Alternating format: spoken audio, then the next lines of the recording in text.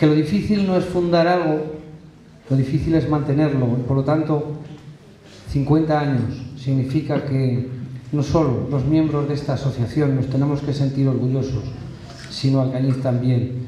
Y que hace muchos años dije que si el cachirulo en Alcañiz alguna vez se cerraba, habría que volver a crearlo. Y lo vuelvo a repetir.